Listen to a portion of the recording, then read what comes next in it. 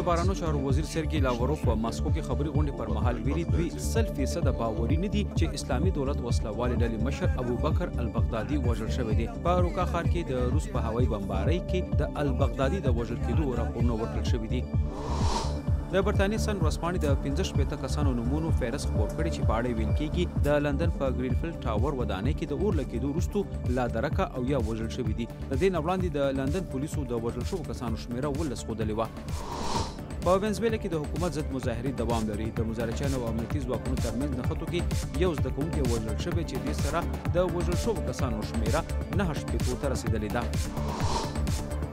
د پراګ په رهایشي علاقه کې یو داسې وړوکی کور جوړ کړل شوی دی چې په یوه خپه ولاړ دی یعنی ټوله ودانۍ یوازې یو بنیاد لري